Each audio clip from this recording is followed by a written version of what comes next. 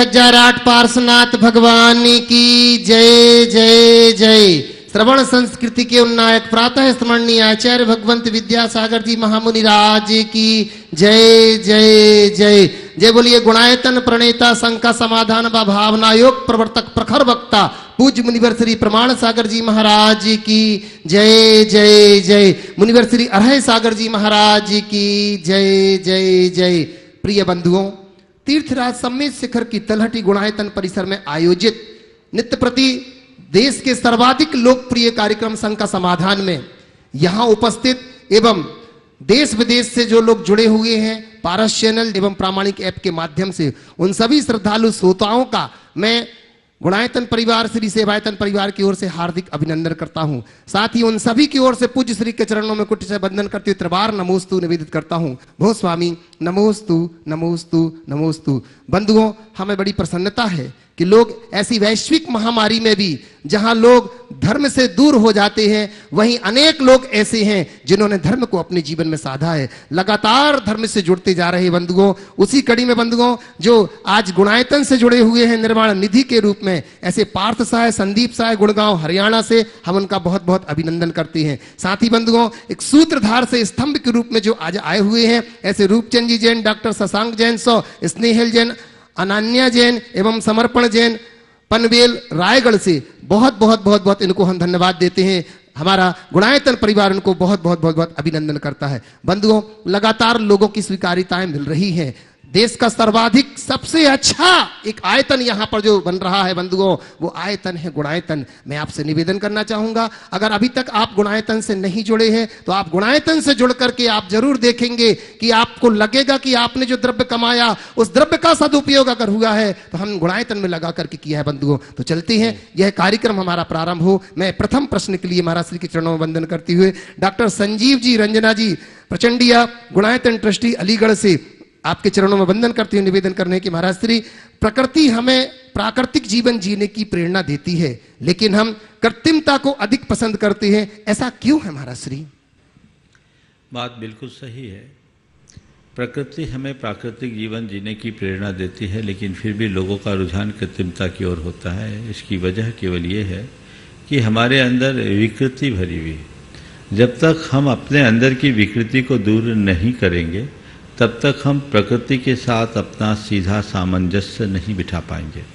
विकृति के निवारण के बाद ही हम प्रकृति का सच्चा लाभ ले सकते हैं।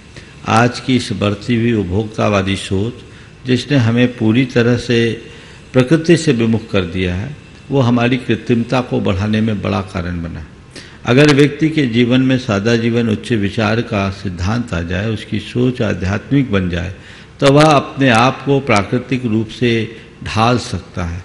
ये बात सही है कि जो प्रकृति के साथ सामंजस्य बना करके जीता है, उसका जीवन सुखी होता है और जो प्रकृति के साथ खिलवाड़ करता है, उसका परिणाम पूरा विश्व आज भोग रहा है।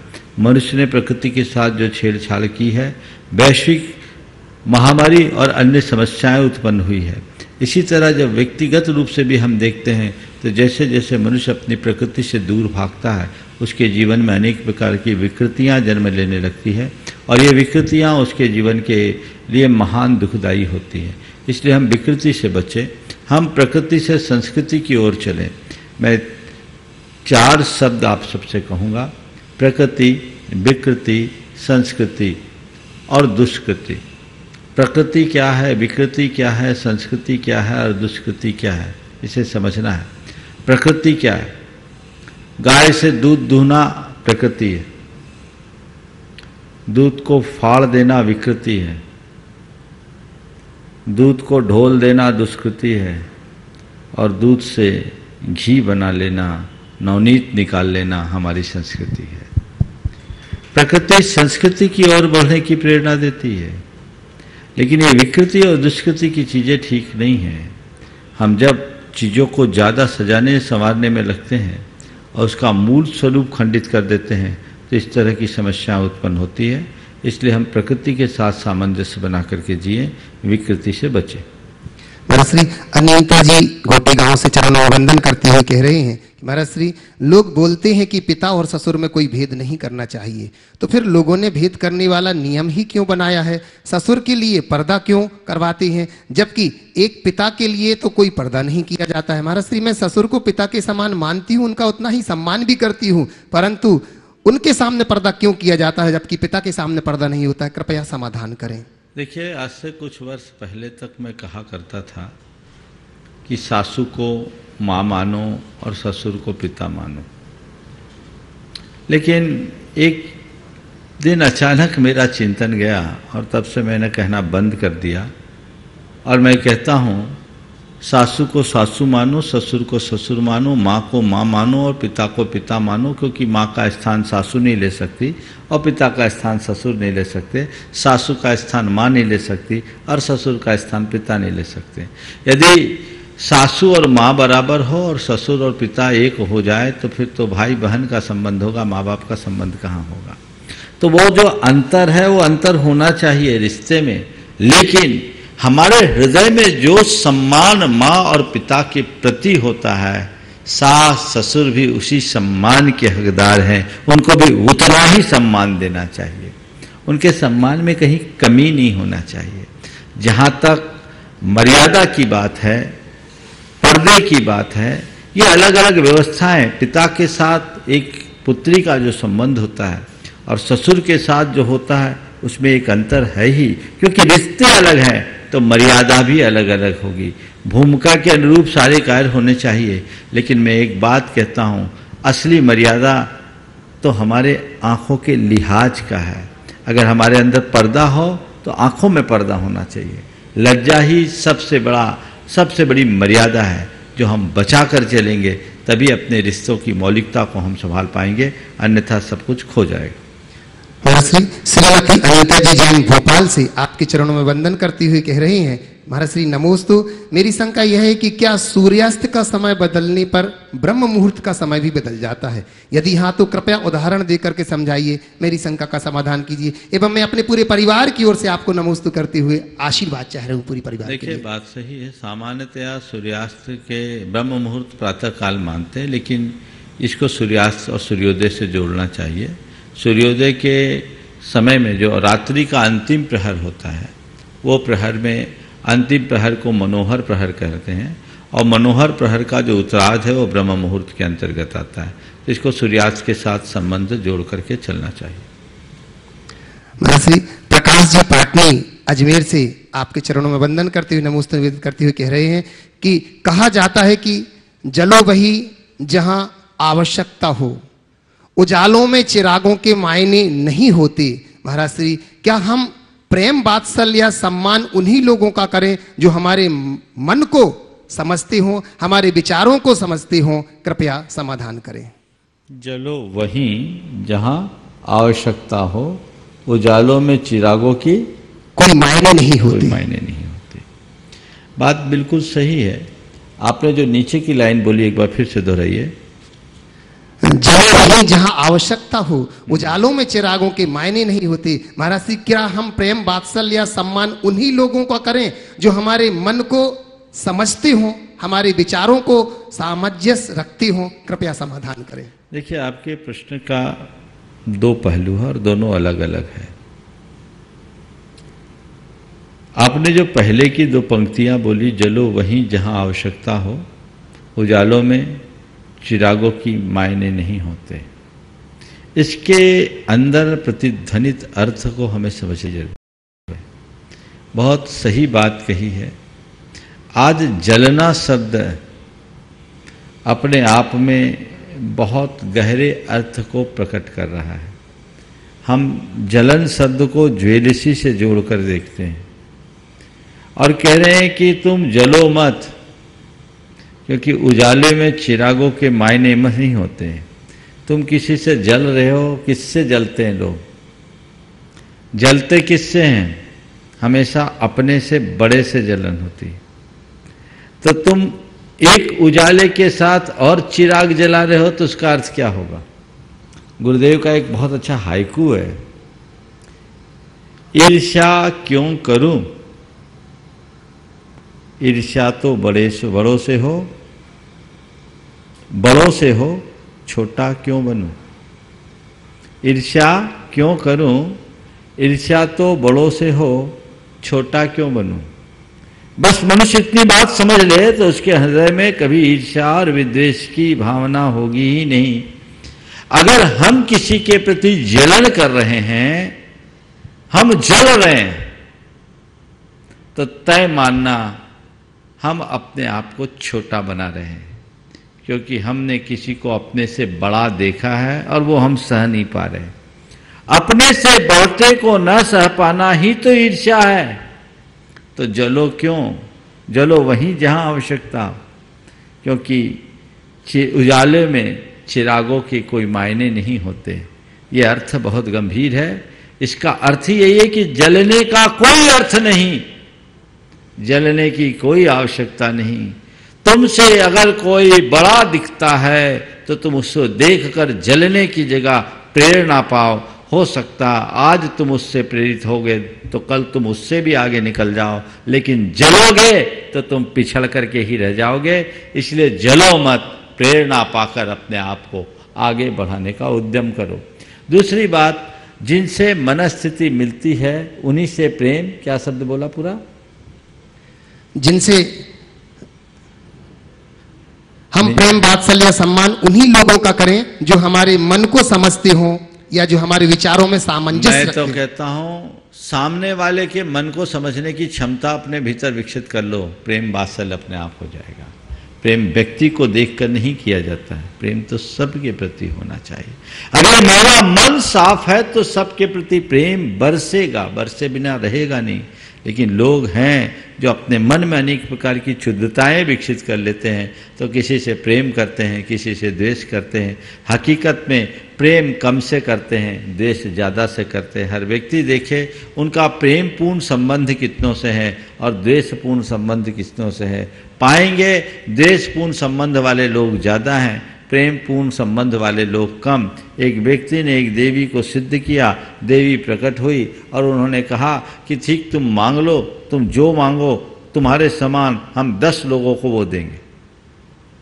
हम दस को देंगे, तुम किसी भी दस आदमी के लिए मांग लो। अब वो दस आदमी किसका नाम चुने जिससे वो प्रेम करता है?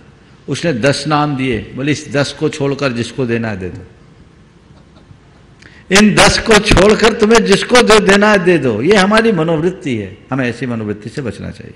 सुनील कुमार जैन गांधी जबलपुर से नमोस्त निवेदित करते हुए कह रहे हैं कि महाराज श्री, गुरुवर, लोग दूसरों का, की तारीफ़ या कामयाबी पर पैर रख करके, दूसरों की तरक्की या कामयाबी पर पैर रख करके अपनी सीढ़ी बना करके आगे निकल जाते हैं, पर अपनी ही परछाई को नहीं पकड़ पाते। जैसे ही इंसान आगे बढ़ता है, परछाई और आगे बढ़ जाती है। महाराज श्री हम ऐसा क्या करें कि लोग अपनी ही सीढ़ी बना करके आगे बढ़े, किसी की बनाई सीढ़ी पे आगे ना बढ़े? शंका का समाधान। हम ऐसा क्या करें कि हम अपनी ही बनाई सीढ़ी पर चढ़कर आगे बढ़े, दूसरों की बनी बनाई सीढ़ी पर न चढ़े? मैं आपके इस वाक्य से थोड़ा सा सहमति प्रकट करता हूँ। आगे बढ़ने वाले कभी परछाई को देखते नहीं और परछाइयों को देखने वाले लोग कभी आगे नहीं बढ़ते। हम खुद की परछाई को देखकर आगे नहीं बढ़ सकते लेकिन किसी की परछाई से प्रेरित होकर खुद को आगे ज़रूर बढ़ा सकते हैं। और तुम आगे बढ़ोगे तुम्हारी परछाई लोगों को आगे बढ़ने की प्रेरणा देगी। इसलिए आगे बढ़ो पर किसी के ऊपर पाँव रखकर किसी की तरक्की और, तारीफ़ के ऊपर पाँव रखकर मत बढ़ो। खुद उसका अनुकरण करके करो या अपने पाँवों में बल जगा करके करो। हम औरों से प्रतिस्पर्धा न करें, प्रेरणा लें। और कदाचित प्रतिस्पर्धा भी हो तो स्वस्थ प्रतिस्पर्धा, किसी को पीछे धकेलने की जगह, खुद को आगे बढ़ाने की ताकत लगाएँ तो वो हमारे जीवन के लिए एक उपलब्धि होगी। और जो व्यक्ति अपने दम पर अपने जीवन को ऊंचाई तक पहुंचाते हैं, वे और लोगों के लिए एक आदर्श बन जाते हैं, सभी लोग उनसे प्रेरणा पाते हैं। श्री जयपुर से तक्षरा अजमेरा जी, चरणों में कोटिशा वंदन करते हुए कह रहे हैं कि मना स्थिति बदलो, परिस्थिति खुद ब खुद बदल जाएगी। तो मना स्थिति को कैसे बदलें? कृपया समाधान करें। मैं अक्सर कहता हूँ मनस्थिति बदलो, परिस्थिति खुद ब खुद बदल जाएगी। आपने पूछा मनस्थिति कैसे बदले? सबसे पहली बात तो ये देखिए, अपने जीवन के अनुभव को देखिए। मैं सम्मेद शिखर जी की ही बात करता हूँ समेत शिखर जी जो लोग आते हैं, यहाँ वंदना करते हैं। बदना का रास्ता कितना दुरूह है। नौ किलोमीटर चढ़ना, नौ किलोमीटर की बंदना और नौ किलोमीटर उतरना। ये कष्टप्रद रास्ता है। एक कष्टप्रद यात्रा है। लोगों के लिए सहज नहीं है। किसी भी व्यक्ति के लिए ये बहुत कठिन है, क्योंकि आज जिस तरह की लोगों की जीवन शैली है, वो तो 200 मीटर भी पैदल चलने के लिए राज़ी नहीं होते। शरीर उसके लिए तैयार नहीं होता, लेकिन फिर भी लोग इस दुरूह यात्रा को भी बड़ी प्रसन्नता के साथ पूरी करते हैं। क्यों? क्योंकि हमने उसे एक्सेप्ट किया है कि यात्रा कठिन ज़रूर है, पर हमें करना है और एक बार यात्रा करके नीचे आते हैं तो अपने आप को कृतार्थ सा महसूस करते हैं कि मैं तो धन्य हो गया, मैं तर गया। यही होता है ना। ये क्या हुआ? अगर उसी व्यक्ति को कहा जाए कि तुमको तीन किलोमीटर तक जाकर के वापस आना है, और वो भी बात अगर दंड स्वरूप दे दिया जाए तो सामने वाले को बड़ा कष्ट होगा। 27 किलोमीटर की यात्रा करने के लिए तैयार है, पहाड़ की यात्रा करने के लिए तैयार है, पर तीन किलोमीटर की पैदल यात्रा के लिए मन तैयार नहीं है। ये दुखदाई और सुखकारी। मतलब क्या है? मतलब यही है कि यह यात्रा हमने स्वीकार ली, इसलिए दुरू यात्रा भी सुगम हो गई, और जिसे हम स्वीकार नहीं करते, वो सुगम भी हमारे लिए दुर्गम बन जाता है। तो मनस्थिति को बदलने के चार सूत्र देता हूँ। जो कोई कैसी भी सिचुएशन हो, चाहे जैसी परिस्थिति हो, उसे एक्सेप्ट करे, पहली बात, स्वीकार करे। मुझे इसमें रहना है। चाहे विपत्ति हो, चाहे विषमता हो, चाहे अन्य कोई बीमारी हो, या कोई वियोग हो ये मेरे जीवन की विपरीतता का द्योतक है, हम इसे एक्सेप्ट करते हैं। स्वीकार करते ही चीज़ें सहज होने लगती है। चीज़ों को जब हम अस्वीकार करते हैं तो वो हमारे लिए भारी हो जाती है। तो हम उसको सबसे पहले चरण में स्वीकार करें। जो है, ठीक है, स्वीकार करें। दूसरी बात हमारे जीवन में जब भी विपरीत परिस्थितियाँ आए तो हम उसको लेकर सकारात्मक देखना शुरू करें। स्वीकार करने के बाद उसके विषय में सकारात्मक सोचे, यानी दुख में सुख खोजें, प्रतिकूलता में अनुकूलता देखें, विपत्ति में भी संपत्ति देखें तो वो आपको अच्छा लगने लगेगा। जैसे दुख में सुख खोजने की बात है। आपको लग रहा है कि मेरे सामने की परिस्थिति बहुत खराब है, लेकिन आप अगर देखेंगे तो दुख में भी सुख खोज सकते हैं। मैं आपको बताऊँ, मेरे पास एक स्थान पर एक साथ दो महिलाएँ आई पाँच मिनट के अंतराल से। एक महिला इसलिए बहुत दुखी थी और बहुत रो रही थी कि उसका पति शराब पीता पति में एक कमी थी, शराब पीने की, बाकी हर जगह, हर क्षेत्र में उसकी लायकी थी, पत्नी बहुत दुखी थी, वो इस बात के लिए बहुत क्षुब्ध भी थी, दुखी भी थी कि मैं कहाँ नरक में फंस गई। मैंने उसको अपने तरीके से समझाया। पति शराब पी रहा है, पत्नी दुखी है, क्योंकि उसको पति की शराब दिख रही है, उसके पति की और जितनी अच्छाइयाँ थी, वो बिल्कुल नहीं दिखे। और एक दूसरी महिला आई। उसका पति भी शराब पीता था। लेकिन जब उसकी बात आई तो उसने कहा, महाराज जी, मैं क्या बताऊँ? मेरे पति बहुत अच्छे हैं और मैं तो ये चाहती हूँ कि मेरे पति जैसा पति सबको मिले।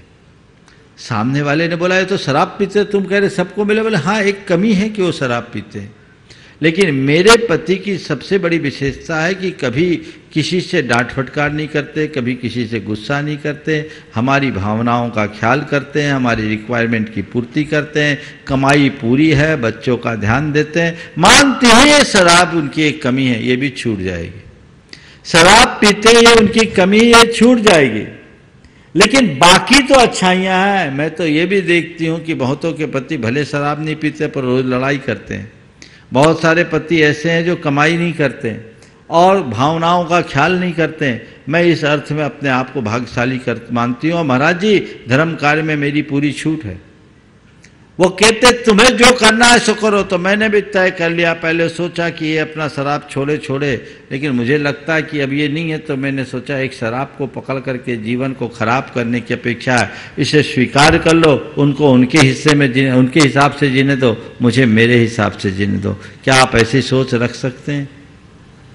अच्छाई देखिए, बुराई नहीं। लोग बुराई, मैं आपको बुराई में अच्छाई देखने के लिए कहता हूँ और लोग अच्छाई में भी बुराई देखते हैं। बुराई में अच्छाई देखोगे, जीवन अच्छा बनेगा। और अच्छाई में बुराई देखोगे, जीवन खराब हो जाएगा। तो बुराई में अच्छाई देखिए, प्रतिकूल की अनुकूल व्याख्या करना सीखिए। दुख में सुख खोजना सीखिए। विपत्ति में भी संपत्ति देखिए। मेरे संपर्क में एक सज्जन थे, उनको बहुत बड़ा नुकसान हुआ। उनके मित्र ने आकर के कहा, महाराज जी, इनको बहुत भारी नुकसान हुआ। उन्होंने कहा, नहीं महाराज, मुझे नुकसान नहीं हुआ, नसीहत मिली। ये सोच आप बना सकते हैं, ऐसा आदमी कभी दुखी होगा? जो नुकसान को भी नसीहत मान ले, वो जीवन में कभी दुखी नहीं हो सकता। तो परिस्थिति को हम नहीं बदल सकते, मनस्थिति हमारी है, उसे बदलने के लिए पहले चाहे जैसी परिस्थिति उसको स्वीकार करें, नंबर एक। नंबर दो, प्रतिकूल की अनुकूल व्याख्या करना सीखे, उसके प्रति सकारात्मक दृष्टि रखे, और नंबर तीन, धैर्य रखे। मन में अधीरता उत्पन्न ना होने दे, ये सोचे थोड़े समय बाद सब ठीक होगा। अभी रात है, रात के बाद सुबह होगी। आज नहीं, थोड़ी देर बाद होगी। अभी नहीं, थोड़ी देर बाद होगी। लेकिन रात लंबी हो सकती, शाश्वत इतना धैर्य अपने मन में होना चाहिए। और आशावादी होना चाहिए। हताशा को अपने मन में हावी मत होने दीजिए। तो जीवन में सब बातें अपने आप अच्छे से घटित हो सकेगी।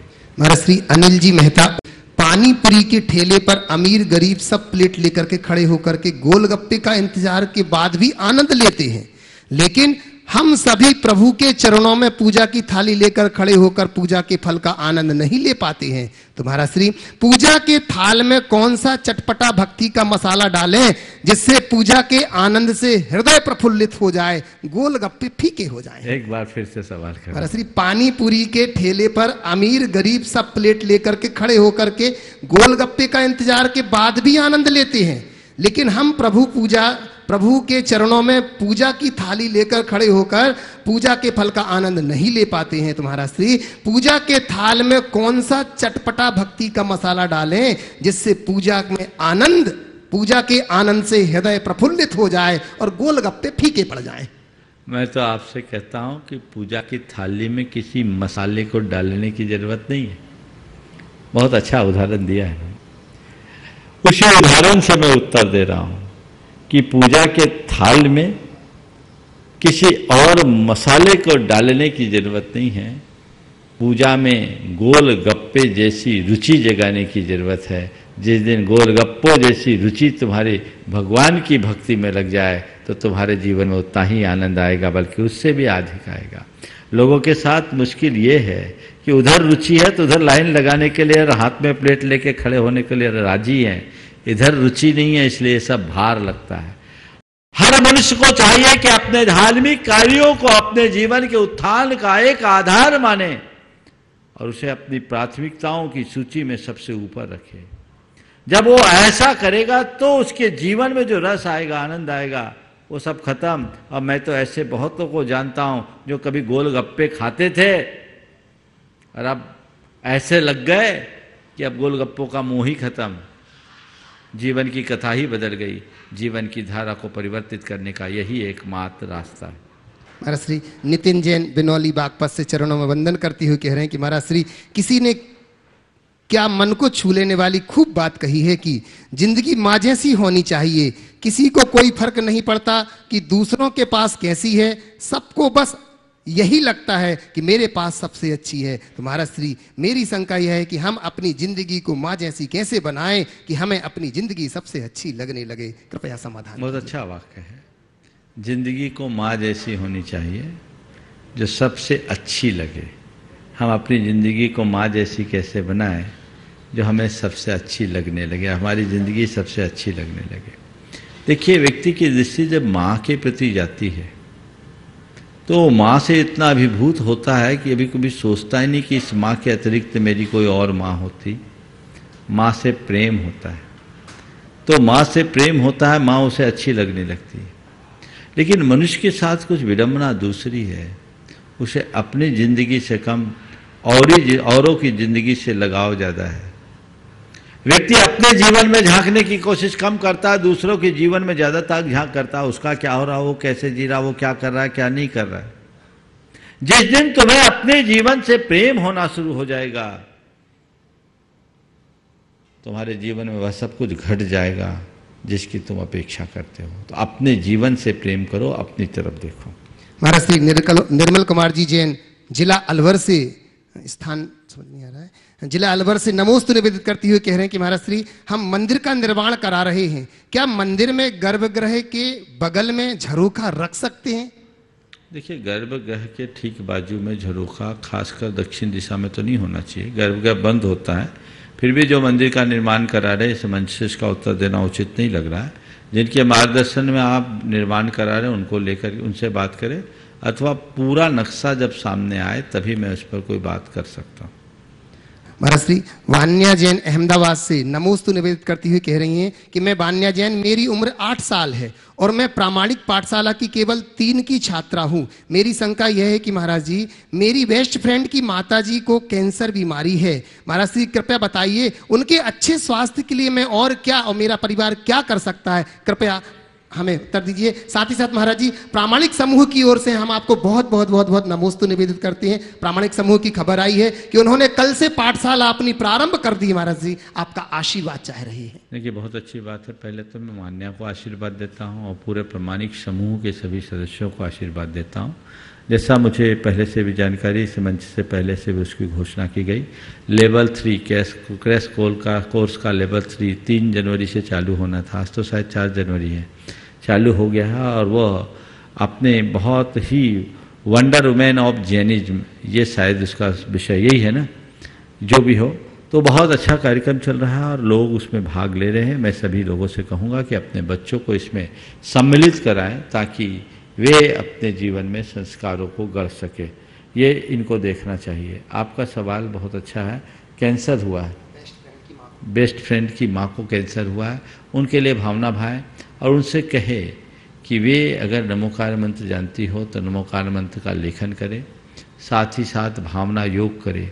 नियमित नमोकार मंत्र के लेखन से और भावना योग से इसमें बहुत ही अच्छा परिणाम आता है। जो भी चिकित्सकीय परामर्श है और चिकित्सा की सुविधा वो तो ले ही ले, लेकिन उनके साथ यदि इन दोनों चीज़ों को करते हैं तो इतना सुनिश्चित है, ऐसे व्यक्ति की कभी अकाल में मौत नहीं होगी। वो बहुत शांति और वेदना मुक्त होकर अपना जीवन जी सकेंगे। महाराज श्री प्रवीण सिंह गड़ाकोटा जिला सागर से नमोस्तु निवेदित करते हुए कह रहे हैं कि कहा जाता है कि ज़िंदगी की आधी नाकामियों का कारण घोड़े की छलांग लगाते समय उसकी लगाम खींच लेना होता है। तो हे गुरुवर हम अपने जीवन की ऐसी नाकामियों को कैसे सफलता में बदल सकें एवं अपने जीवन का पूर्ण जीवन की पूर्ण क्षमता के साथ विकास कर सकें कृपया मार्गदर्शन दीजिए। बहुत अच्छा वाक्य है। मनुष्य की आधी नाकामियों का कारण, घोड़े के छलांग लगाते समय उसकी लाग, लगाम खींच लेने जैसा है।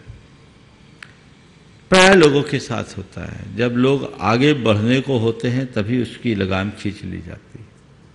सबसे पहली बात तो ये है कि हर व्यक्ति को जमीनी हकीकत को समझकर, धरातल को समझ कर के ही छलांग लगाने की कोशिश करनी चाहिए। और ऐसी छलांग कभी न लगाए कि छलांग लगाते समय हमें लगाम खींचना पड़े। और एक बार छलांग भर लिया तो उस पार ही जाए, बीच में रुकने का काम नहीं। अपने जीवन की सफलता हम पाना चाहते हैं तो मैं तो कहता हूँ, छलांग लगा करके सफल नहीं हो, कदम कदम चल करके सफल हों। आजकल एक विडम्बना है कि लोग एक साथ सौ सीढ़ी चढ़ने की कोशिश करते हैं। मैं लोगों से कहता हूँ, एक साथ सौ सीढ़ी चढ़ने की जगह एक एक करके हज़ार सीढ़ी चढ़ने की क्षमता अपने भीतर विकसित करो। एक एक करके अगर चढ़ोगे तो हज़ार सीढ़ी चढ़ सकते हो। एक साथ सौ सीढ़ी चढ़ने की कोशिश में कब तुम्हारी कमर टूट जाए, कहा नहीं जा सकता। इसलिए सफलता के क्षेत्र में व्यक्ति को कदम दर कदम चलना चाहिए। और अपना लक्ष्य सही रखना चाहिए और लक्ष्य के प्रति अपनी बुद्धि को अनुबंधित रखना चाहिए, संकल्पित होना चाहिए, समर्पित होना चाहिए और उसके लिए अपना सर्वश्रेष्ठ लगा देना चाहिए। जब तक मेरे लक्ष्य की पूर्ति नहीं होगी, तब तक हम दम नहीं लेंगे। ये सोच बना करके चलें तो कहीं कठिनाई नहीं हो सकती। महाराज श्री अभिजीत जी सूरत से नमोस्तु निवेदित करते हुए लिख रहे हैं कि मेरा प्रश्न पूछने से पहले मैं संघ का समाधान की पूरी टीम की तारीफ़ करना चाहूँगा। जिस तरह से वह सारी चीज़ों को संभाल रहे हैं, सही में काबिल तारीफ़ है। टीम के सारे सदस्यों को मेरी तरफ़ से खूब खूब अभिनंदन। हे गुरुवार, रोज सुबह में बेस्ट आप संघ का समाधान का एक प्रश्न सुने बिना मेरे दिन की शुरुआत ही नहीं होती है। मन पर नियंत्रण कैसे रखें? इसी के बारे में आपने संघ का समाधान में चार बातें बताई थी। लेकिन इसी प्रश्न को मैं दोबारा इसलिए प्रस्तुत करना चाह रहा हूँ कि यह प्रश्न कि यह प्रश्नों के उत्तर की ज़रूरत हमसे ज़्यादा आज के बच्चों को है। तो हे गुरुवर, मेरी आपसे गुजारिश है कि यह, यही चार बातें बच्चों को उनकी भाषा में कृपया समझाएँ, जिससे कि हमारा जीवन अच्छा हो सके। देखो, मैंने कब कौन सी चार बातें कही मुझे ही पता नहीं। मैं तो जो बोलता हूँ स्पॉन्सली जो निकलता है, सो बोल देता हूँ। मुश्किल ये है कि मैं अभी बोलूँगा, मुझे पता नहीं कब कब क्या क्या बोला। लेकिन जो भी बोलता हूँ, वो सही बोलता हूँ, इतना भरोसा रहता है। आपने एक सवाल किया और बच्चों को केंद्रित करके बत, किया है। तो आज मैं बच्चों को केंद्र में रख करके, मन को नियंत्रित करने के चार सूत्र आप सबको देता हूँ। हो सकता है ये बच्चों के साथ बड़ों के लिए भी लाभदायी हो, क्योंकि मन के चंचलता के शिकार बच्चे बड़े सब हैं। और सबको इन सब की ज़रूरत है। इसलिए आज चार बातें बच्चों की प्रमुखता से मैं दे रहा हूँ। बच्चों का मन चंचल होता है तो बच्चे अपने मन की चंचलता को दूर करना चाहते हैं। तो सबसे पहले, अपने लक्ष्य को फिक्स करें। उसके लिए संकल्पित रहें कि मेरा जो लक्ष्य है मुझे उस लक्ष्य की पूर्ति करनी है, जैसे खासकर बच्चों की शिकायत होती है, पढ़ाई करते समय उनका मन चंचल हो जाता है। बच्चे के लिए माँ बाप पढ़ने के लिए बोलते हैं और बच्चे चंचलता के कारण इधर उधर काम करने लगते हैं। बच्चों को ये अपना टारगेट बनाना चाहिए कि मुझे पढ़ना है तो जिस समय पढ़ना है, उस समय केवल पढ़ना है पढ़ना है पढ़ना है। अगर वो लक्ष्य पढ़ाई का उनके सामने होगा तो मन इधर उधर नहीं जाएगा। उन्हें ये रखना चाहिए कि मुझे अपने लक्ष्य की पूर्ति करनी है। मेरा जो काम है, वो मुझे करना ही है। अगर ऐसा करोगे तो मन में चंचलता नहीं होगी। जैसे बहुत सारे बच्चे होते हैं जो पढ़ाई को प्रमुखता देते हैं, वो पढ़ते हैं। उनको होमवर्क करना है तो करते हैं। वो उनकी प्रायोरिटी में आ गई। ये मुझे करना है। कोई दूसरा भी इधर उधर कहे, वो सब काम बाद में। पहले मुझे करना है। तो पहली बात अपने लक्ष्य के साथ अपने आप को संकल्पित करें। ही अपनी प्राथमिकता बना दे। प्रायोरिटी में वही रखें कि फ़र्स्ट प्रायोरिटी, मुझे ये करना है, मुझे ये करना है, मुझे ये करना है। ये बात हम अपने मन के साथ जोड़ेंगे तो बच्चों के मन में कभी चंचलता नहीं आएगी। तीसरी बात, जब मन इधर उधर भागने लगे तो उस समय कुछ अच्छा सुनने लगे अच्छा पढ़ने लगे और किसी से अच्छा मार्गदर्शन ले, जिससे मन की उचाट कम हो जाए। मन को जब मोटिवेशन मिलता है तो हम अपने मन में बहुत कुछ स्थिरता लगा सकते हैं, ला सकते हैं। और कई बार किसी के कारण से जब मन में अस्थिरता आ जाती है दूसरों को देखकर, दूसरों के व्यवहार को देखकर तो उस समय हम कुछ पढ़ना शुरू कर दें तो अपने मन में स्थिरता ला सकते हैं। महर्षि प्रकाश चंद जी पहाड़िया एचल करण जी से नमोस्त निवेदित करते हुए कह रहे हैं कि एक भ्रमर बिना फूल को हानि पहुँचाए उस फूल के रस को ले लेता है। हम भी मानवता व समाज को हानि पहुँचाए बिना सौम्य व प्रेरणादायक व्यक्तित्व कैसे निखार सकें? भौरा बन जाओ तो निखार सकते हो। भौरा क्या करता है? फूल को आघात पहुँचाए बिना रस लेता है। हम भी इस पूरी की पूरी मानवता से उसे आघात पहुँचाए बिना उसका रस ले सकते हैं। पर उसके लिए हमें भ्रमर जैसा गुण चाहिए। भ्रमर मधुर गुंजार करता है, फिर फूलों पर बैठता है। एक तरफ़ तटस्थ होकर के बैठता है। दो तरह के प्राणी हैं, एक मक्खी जैसे, एक भ्रमर जैसे। मक्खी भिनभिनाती है और भंवर की गुंजार होती है। मक्खी की भिनभिनाहट कभी पसंद नहीं आती और भंवर की गुंजार सबको आनंद देती है। अपने जीवन में हम कुछ ऐसा करें जो भंवरे जैसा हो, जो हमें खुद सुखद अनुभूति कराए और हमारे संपर्क में आने वाले लोगों को भी। उसके लिए हमें एक ख्याल रखना चाहिए कि आज जिस फूल से मैं रस ले रहा हूँ, कल दोबारा मुझे इस पर बैठना है। इसलिए इसका आघात हमें नहीं करना, इतनी समझ हो जाए तो सब चीज़ें ठीक हो सकती। श्रीमती गुणमाला निर्मल कुमार जी जैन, रोठियाई जिला गुना से चरणों में नमोस्तु निवेदित करती हुई कह रहे हैं कि, पूज्य श्री, मेरी शंका यह है कि जब रात्रि में हम सपने देखते हैं तो क्या हमें सपनों में भी दोष लगते हैं, सपनों में भी हमें पुण्याश्रव होता है, और क्या सपने हमको हमारे परिणामों के अनुसार आते हैं, और किस तरह के परिणामों से हमें कैसे सपने आती हैं, कृपया समाधान करें। देखिए, सपनों से जुड़ा सवाल है, इसके कई पहलू हैं। सबसे पहले हम सपने के विषय में जाने कि स्वप्न है क्या। फिर हम जानेंगे इसमें हमें दोष लगते हैं, पुण्य लगता है, पाप लगता है या नहीं लगता। और फिर तीसरे चरण में क्या पूछा है? सपनों में? सपने हमको हमारे परिणामों के अनुसार हाँ, आते हैं क्या? क्या आते हैं? देखिए सपने हैं क्या? सपनों के विषय में मेडिकल साइंस मनोविज्ञान आयुर्वेद और ज्योतिष शास्त्र सब में अलग अलग बातें कही गई है। इनमें सब पर काफ़ी विस्तार से चर्चा और धर्म शास्त्रों में भी सपनों की चर्चा है। मेडिकल साइंस के अनुसार रात्रि में जब हम सोते हैं तो हमारे स्नायु तंत्र में संकोच होता है। और स्नायु तंत्र में संकुचन होने के कारण मस्तिष्क के स्नायु तंत्र में संकुचित होता है संकुचन होता है तो हमारे अंदर स्वप्न की सृष्टि होती है। मनोविज्ञान के अनुसार हमारी तीन प्रकार की इच्छाएँ होती है, व्यक्त इच्छा, अव्यक्त इच्छा और रुद्ध इच्छा। हमारी व्यक्त इच्छाएँ तो प्रकट होती है, लेकिन जब हम सोते हैं स्नायु तंत्र के संकुचन के कारण अव्यक्त और रुद्ध इच्छाएँ विभिन्न प्रतीकों के माध्यम से प्रकट होती। आयुर्वेद के नियमानुसार बात, पित्त, कफ, इन तीन दोषों के निमित्त से सपने आते हैं। ज्योतिष शास्त्र के अनुसार किसी भावी घटना के संसूचनार्थ सपना आते हैं। सपनों का किसी न किसी प्रकार का फलाफल होता है। और धर्मशास्त्र के हिसाब से अगर कर्म ग्रंथ के अनुसार से हम बात करें तो स्वप्न दर्शनावर्ण कर्म का एक परिणाम है। जो निद्रा निद्रा, पचरा पचड़ा आदि कर्म है, उसमें हमारे अंदर स्वप्न आते हैं। तो ये स्वप्न की बात है। स्वप्न के संदर्भ में पहली बात तो मैं ये कहूँगा, अस्वस्थ व्यक्ति के सपने का कोई अर्थ नहीं होता। स्वस्थ व्यक्ति के भी स्वप्न प्रायः व्यर्थ होते हैं। क्वचित कदाचित कोई कोई स्वप्न जो स्वस्थ व्यक्ति को आए, उसके कुछ अर्थ होते हैं। महापुरुषों के जन्म से पहले उनकी माताएँ, तीर्थंकर आदि की माताएँ सोलह सोलह सपने देखती हैं। अन्य महापुरुषों के जन्म के पूर्व भी जो सपने देखे जाते हैं, वो भावी घटना के संसूचनार्थ होते हैं, ज्योतिष शास्त्र से बताता है, लेकिन इसमें भी व्यक्ति का स्वस्थ होना और किस समय, किस तिथि में कौन सा सपन देखा है, उसके अनुरूप उसका फलाफल होता है। अब रहा सवाल कि सपने में जो हम देखते हैं, उसका कोई पुण्य और पाप होता है क्या? हमारे शास्त्रों में दो तरह की बात कही गई।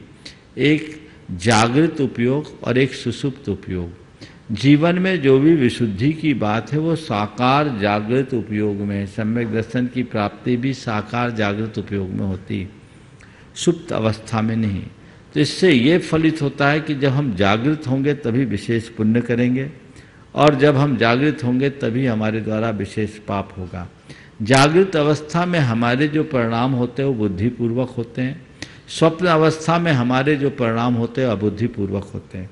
यद्यपि स्वप्न अवस्था में भी कर्म का बंध होता है, लेकिन जो क्रिया हम सपने में कर रहे हैं, उसके बंधने वाला कर्म, और जो क्रिया हम साक्षात कर रहे हैं, उससे बंधने वाले कर्म में ज़मीन आसमान का अंतर होता है। स्वप्न अवस्था में किए गए कर्म में अज्ञात भाव है, इसलिए अबुद्धिपूर्वक होने से अल्प बंध होगा और जागृत अवस्था में होने वाला बंध विशेष बंध होगा। तीव्र संक्लेश या तीव्र विशुद्धि दोनों जागृत अवस्था में ही होती है, सुप्त अवस्था में नहीं।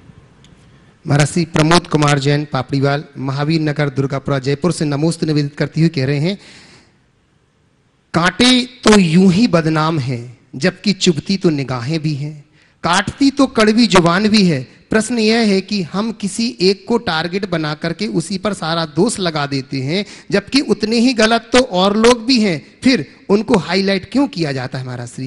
ये तो हमारे नज़रिया का सवाल है। बहुत अच्छा वाक्य कहा। कांटे तो व्यर्थ ही बदनाम है चुभती तो हमारी निगाहें भी है। और काटती तो जबान भी है। बात बिल्कुल सही है। पर मनुष्य का नज़रिया जिसके प्रति जैसा हो जाए, वो दिखता है। मैं तो ये भी देखता हूँ, कई ऐसे लोग हैं जिनको कांटे नहीं चुभते पर निगाहें कांटों से भी ज़्यादा चुभने लगती। हमारा दृष्टिकोण कैसा, हमारा नज़रिया कैसा, हमें ये देखना चाहिए। मैं तो यही कहूँगा कि कभी भी अपने नज़रिए को ऐसा न बनाओ कि तुम्हें कोई चुभे या तुम किसी को चुभो। हम जहाँ तक बने, सबके साथ सुखद अनुभूति दे सके। महाराज श्री सुश्री साक्षी सोनी जयपुर से नमोस्तु निवेदित करती हुई कह रहे हैं कि गुरुदेव, मेरा प्रश्न यह है कि कहते हैं कि एक व्यक्ति का लक्ष्य सही होना चाहिए, क्योंकि काम तो दीमक भी दिन रात करती है, पर वो निर्वाण नहीं, विनाश करती है। तो ऐसे में गुरुदेव, हम अपने जीवन का निर्माण कैसे करें ताकि हम अपने लक्ष्य तक पहुँच सकें? कृपया मार्गदर्शन देखिए दीजिए बहुत सही बात है। हम किसी भी दिशा में चले हम कितना भी बड़ा पुरुषार्थ करें, चाहे कितना भी ऊँचा प्रयत्न करें, प्रयत्न से भी ज़्यादा महत्वपूर्ण प्रयत्न की दिशा है। हमारे इरादे क्या है, प्रयत्न की दिशा क्या है? सही दिशा में किया गया छोटा सा पुरुषार्थ महान फल देता है, और गलत दिशा में किए गए बड़े बड़े पुरुषार्थ भी अर्थहीन होते हैं। दीमक के द्वारा यद्यपि सतत प्रयत्न है, लेकिन वो विनाश के लिए है। हमें दीमक की तरह काम नहीं करना, हमें चीटी की भांति काम करना, जो पहाड़ भी चढ़ जाती है। वो सतत चल रही है, चल रही है, चल रही है। सृजनात्मक दिशा देने से ही हम अपने जीवन को आगे बढ़ा सकेंगे। तो हमेशा अपने अंदर ये समझ हो हमारे जीवन को सृजनात्मक दिशा मिले और हम अपने जीवन को उसी अनुरूप गति दे सकें। हम भारत भूषण जी अलवर से नमोस्तु निवेदित करते हुए पूछना चाह रहे हैं कि महाराज श्री आज दाम्पत्य जीवन में दिन प्रतिदिन टकराव क्यों बढ़ रहे हैं? दाम्पत्य जीवन को सहज व सुखमय बनाने के लिए हमें क्या करना चाहिए? दाम्पत्य जीवन में दिन प्रतिदिन टकराव क्यों हो रहे हैं? ये आज की सोच है यद्यपि हमेशा रही है लेकिन आजकल ज़्यादा है। पहले लोग पति पत्नी की भांति रहते थे। अब पति पत्नी की भांति नहीं रहते हस्बैंड वाइफ की भांति रहते हैं। और अब हस्बैंड वाइफ का भी कंसेप्ट धीरे धीरे बदलता जा रहा है। अब एक दूसरे के लाइफ पार्टनर होने लगे। और ये जो पार्टनर शब्द है ना, ये शब्द ही थोड़ा सा मुझे नहीं जसता ये पार्टनर जहाँ है, वहाँ भागीदारी वाली बात हो गई। और यह जहाँ जीवन में इस तरह की भागीदारी, हिस्सेदारी की बात होगी तो वहाँ जीवन के हिस्से ही हो जाएँगे, एक रूपता नहीं होगी। हमारे यहाँ जो संबंध बताए गए हैं, वो दोनों के साथ पति पत्नी के साथ एक नितांत भावनात्मक संबंध रहा है। और जब तक भावनात्मक संबंध प्रगाढ़ नहीं होता, तब तक एक दूसरे के संबंधों में मधुरता नहीं आती। आज भावनात्मकता का भावनात्मकता गौण होते जा रही है और बुद्धिवाद बहुत तेज़ी से उभर रहा है। जब मनुष्य की बौद्धिकता हावी हो जाती है, भावनाएँ सूखने लगती हैं तो संबंधों की सरसता समाप्त हो जाती है। मैं इस कहूँगा कि हम भावनाओं को प्रमुखता दें। पुराने समय में ऐसे अनेक उदाहरण मिले हैं कि लोगों ने एक दूसरे की भावनाओं को समझा है, जाना है और उसका सम्मान किया है, एक दूसरे के पूरक और प्रेरक बन करके जिए। आज वो चीज़ें नहीं रही। अब तो ये है, हम क्यों झुके, वो क्यों झुके? हम क्या कम हैं? और अब तो और चीज़ें आ गई हैं। पति पत्नी के बीच में भी अलग अलग अकाउंट आने लगे अलग अलग पैकेज आने लगे। सोच जब व्यवसायिक हो जाएगी तो फिर प्रेम कहाँ टिकेगा? प्रेम तब टिकता है जब एक दूसरे के प्रति पूर्ण समर्पण का भाव होता है।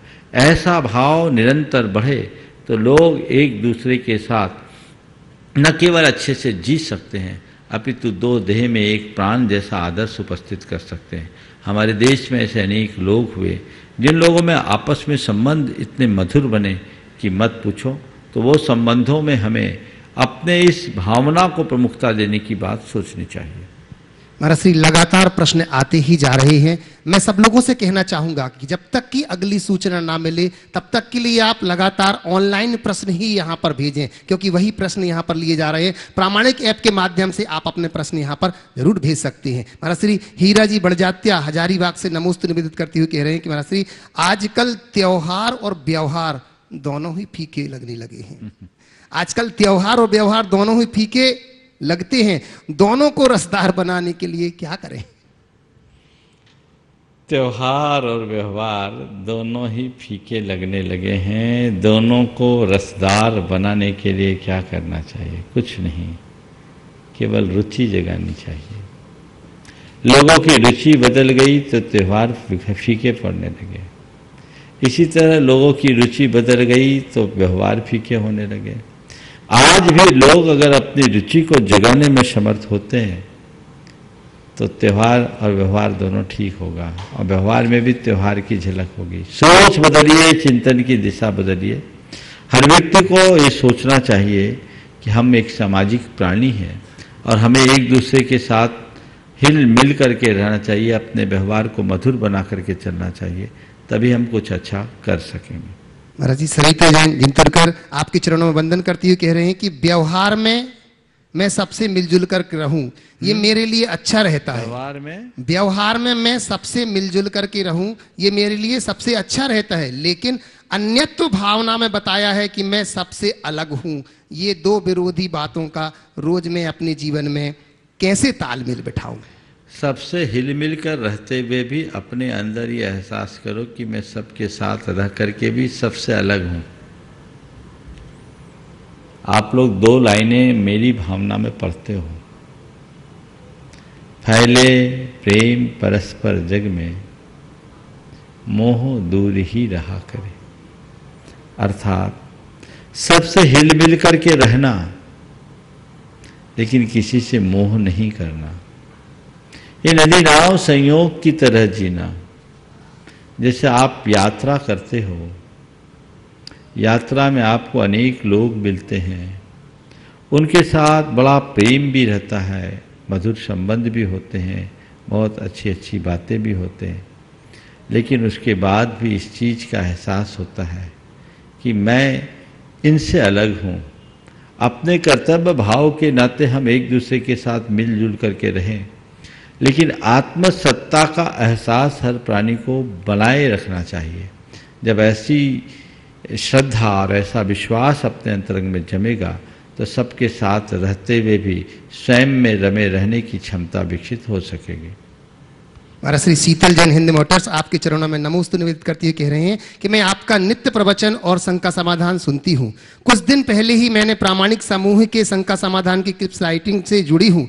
मैं आपके समक्ष आकर ही आशीर्वाद लेना चाहती थी किसी कारणवश ना आ सकी, मैं अपने कार्य को अच्छी तरह कर सकूँ। मुझे आशीर्वाद दीजिए। मेरा प्रश्न है कि महाराज श्री, खूबी और खामी दोनों ही होती हैं। खूबी और खामी दोनों ही होती हैं। हर इंसान में जो तराशता है, उसे खूबी और खूबी नज़र आती है। और जो तलाशता है, उसे खामी नज़र आती है। तो महाराज श्री, हम अपने हृदय को ऐसा कैसे बनाए जिससे खूबी ही नज़र आए, खामी नज़र ना आए? सबसे पहले तो मैं उन्हें आशीर्वाद देता हूँ कि वो प्रमाणिक समूह से जुड़ी हैं। जितने लोग प्रमाणिक समूह से जुड़कर काम कर रहे हैं, सभी को मेरा आशीर्वाद। अपने का खूबी और खामी दोनों होती है। हम कैसे करें कि हमें खूबी ही दिखे, खामी न दिखे? मैं कहता हूँ, बिल्कुल नहीं। खूबी खूबी और खामी दोनों होनी चाहिए, तभी जीवन की पूर्णता है। तलाश तराशने से खूबी और तलाशने से खामी। मैं आप सबसे कहूँगा खूबी और खामी दोनों अपने भीतर रखो। अपने आप को इतना तलाशो कि तुम्हारी खूबियाँ बढ़ते जाए और अपने आप में इतना तलाशो कि तुम्हें तुम्हारी खामियाँ दिखे और उन्हें दूर कर सको। खुद की खूबी को कम, खुद की खामी को ज़्यादा देखो।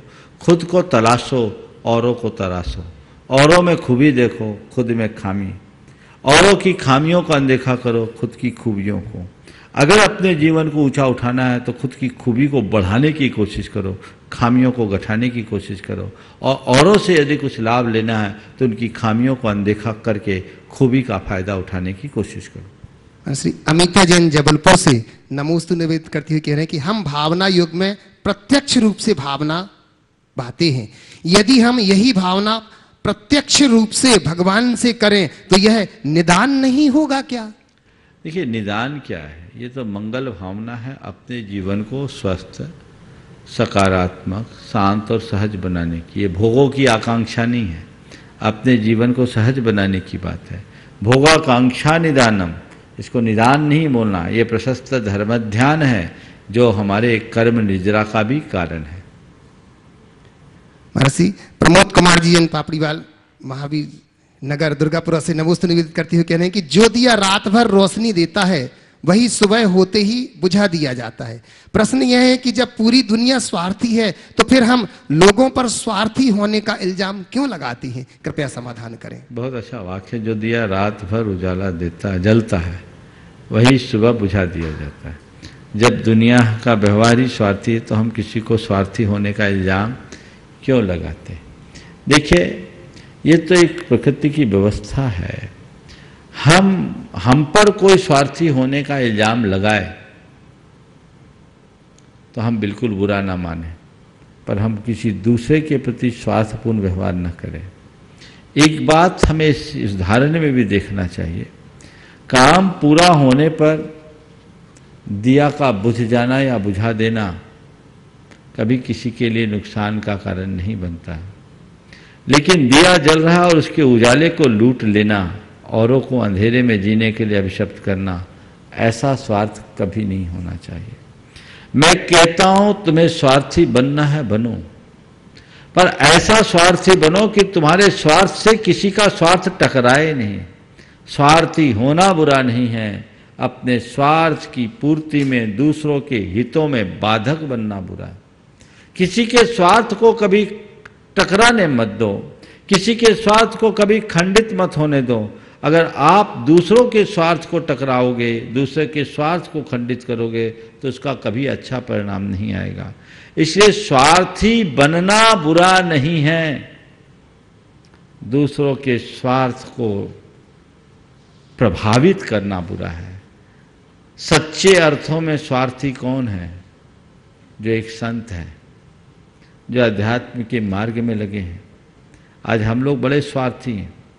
ये हर साधक स्वार्थी है, क्योंकि वो अपनी आत्मा का हित दिखता है, देखता है। और मैं चाहता हूँ ऐसे स्वार्थी आप भी बनो, लेकिन हम सेल्फिश नहीं है।